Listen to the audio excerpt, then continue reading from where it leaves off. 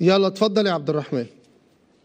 أنا عندي أخت آه، دلوقتي هي مش راضية تلبس الحجاب وعندها 14 سنة. أخت بقى في قط بيلبس حجاب. ماشي يبقى أخت. ماشي. عندها ضللتنا 14 عرب. سنة. أنا والله السبب أنا السبب أنا اللي عملت الخرم اللي في اللي بس الأذون. يسمع ال- ال- ال- الشاب. قول يا عبد الرحمن. هي أختي عندها 14 سنة. أيوه. ومش راضية تلبس الحجاب؟ طيب.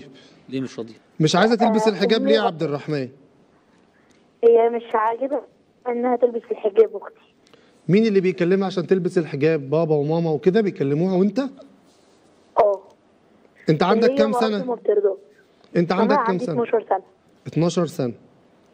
طيب سؤالك إيه بقى يا عبد. الرحمن؟ ماشي. آه، السؤال الثاني لا السؤال الأولاني إيه؟ إن أختك بتقول لها تلبس الحجاب وهي عندها غصبنا 14 عن- سنة وهي مش راضية تلبسه؟ آه طيب. هي- إحنا غصبناها على الحجاب ولبسته آه. ودلوقتي هي مش مقتنعة بيه وعايزه تقلعه. أيوه. دوت نعمل لها إيه؟ طيب ده, ده السؤال الثاني ولا ده برضه تبع السؤال الأولاني؟ لا دوت السؤال الأول. طيب تمام. بشكرك يا عبد الرحمن على اتصالك. طيب هو عنده أخت عندها اسمعنا 14 بسمع سنة؟ الإجابة بقى. آه. عنده أخت عندها 14 سنة عبد الرحمن عنده 12 سنة. آه بابا ومامته وهو بيكلموا أخته إن هي تلبس الحجاب آه كانت رافضة ومش مقتنعة. فهي فهم غصبوها إن هي آه تلبس الحجاب وهي عايزة تقلعه.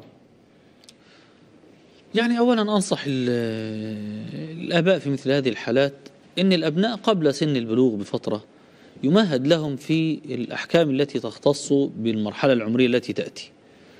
بالنقاش حوله بالحديث حوله باهميته بفضله بكل التفاصيل التي عن حجاب البنت والمرحله أو ولد هجي له مرحلة مراهقة. إزاي يتعامل مع جسده؟ إزاي يتعامل مع الأحكام اللي متطلبة منه في هذا؟ ولد أو بنت قبل سن المراهقة والبلوغ في مراحل لازم يهيئ لها الأبناء بالأحكام بتاعتها. تمام. لكن فجأة الولد بيجي أو البنت ففجأة إلحق عليك دلوقتي الصلاة عليك تتحجب. طيب تتحجب إزاي يعني لم تقتنع لم ت... لم ت... فالأولى عدم الإجبار والنقاش وال... لأن طب هجبرها دلوقتي ولما يجي لها الحق الاختيار براحتها بعيد عن سلطتي تقلعه. تمام. وهتبقى بنفور تام. فإحنا مش عايزين شكليات في الدين قد ما يبقى فيه جوهر أو أجمع بين الجوهر والشكل. ده الأولى والأفضل يعني. تمام.